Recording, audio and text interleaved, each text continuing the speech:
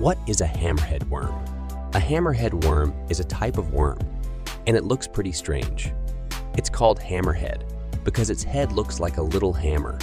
This worm is a predator, which means it eats other small creatures like insects and slugs. It's not a friendly worm. The hammerhead worm is also known for its strange way of moving.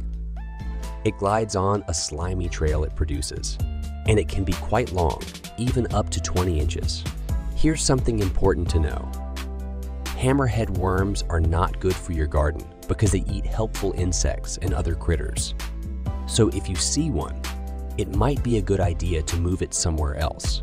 Hammerhead worms might not directly harm humans, but they are invasive and pose a threat to earthworm populations.